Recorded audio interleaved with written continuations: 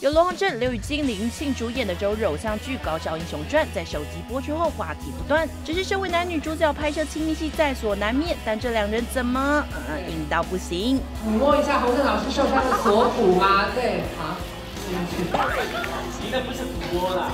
摸这样吗？啊，秀秀秀秀，对，要抚摸心接好，不好意思，我来帮你服务，来放上来，然后轻托着手，好，谢谢，好，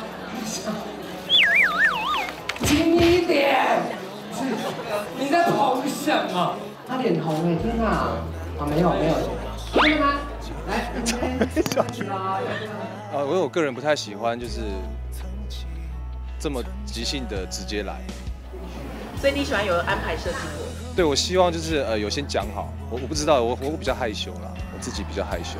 光是拍个 close 一点的互动照，就让两人害羞成这样，很难想象前几天才刚拍完吻戏。我们那场吻戏的时候，就是可心老师是主动的那一方，然后他就是变成一只小绵羊。可能是因为当天是七夕的关系吧，还是就是会觉得有一种被爱包围，但是不敢说出口的感觉。形容词啊，很像巧克巧克力的广告词。是吗？啊，NG 蛮多次的，因为就是有一些技术上的操作，可能就是舌头没有放好啊，或者是故意的吗？好低调。我开玩笑的，我开玩笑，我们没有伸舌头，我们没有，我们连我们连蠕动都没有，真的很软的，真的很软，不得不称赞一下，真的非常软。但是，对我就说到这里，我怕我说太多我脏掉了。可以说是史上进展最快，被昵称为大可 CP 的洪振汉与金角色设定颠覆以往的 CEO 有新鲜感，尤其一直处在易怒状态的洪振，让人忍不住怀疑根本是本性演出。我相信我有身体有一部分一定也是这么躁郁的，这么这么的想要宣泄的，但是就是可能因为碍于呃现实生活没有办法，所以就完全的在大翔身上得到宣泄，是一种蛮爽快的体验。那还吓哭了小朋友。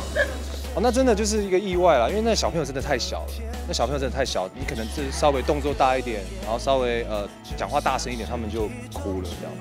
其实也就只有一个小朋友，一个小朋友哭。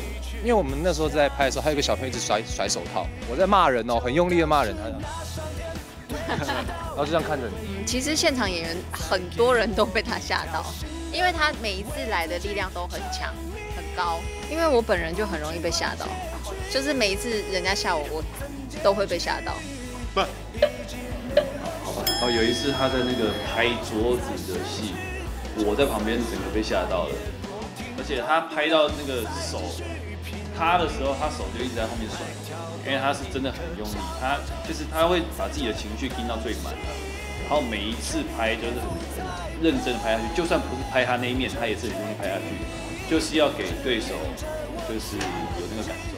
可以感受到演员们的认真，就为了呈现更好的内容给大家。轻松带点喜感氛围的《高校英雄传》，每周日晚上十点台视频道和你一起迎接 Monday 不补录。而错过第一集的朋友，每周六晚上十点还可锁定三立都会台播出。完全乐蔡文雪、曾喜斌、黄振荣采访报道。